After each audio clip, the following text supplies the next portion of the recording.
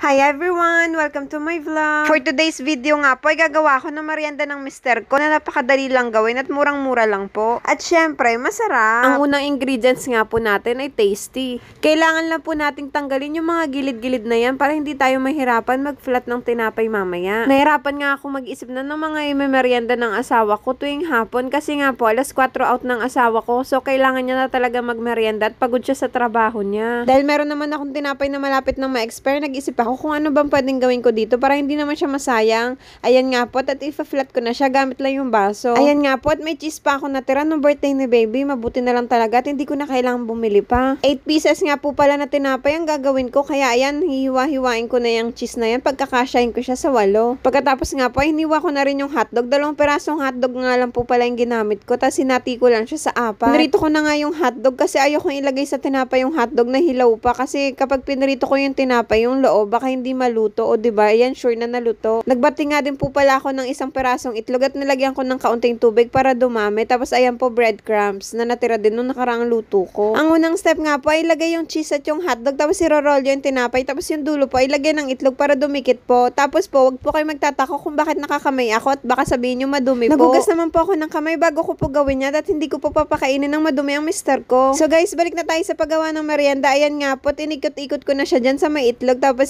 ilalagay ko siya sa breadcrumbs. Ipapalibutan ko po siya ng breadcrumbs. Saka ko siya itatambog sa may mantika. Ulitin nyo lang po yung first step natin hanggang sa matapos po lahat ng tinapay na meron kayo. At kung nakaabot na po kayo dito sa part ng video na to, please comment down below po kung nagawa nyo na rin po ba tong merienda na to para sa mga mahal nyo sa buhay. Ayan nga po, nagpiprito na ako ng mga ginawa ko. Dapat nga po pala yung apoy katamtamang lakas lang para po hindi masyadong matusta yung tinapay at yung breadcrumbs. At ayan na nga po, hiwain natin, tingnan natin kung ano ba yung itsura sa loob.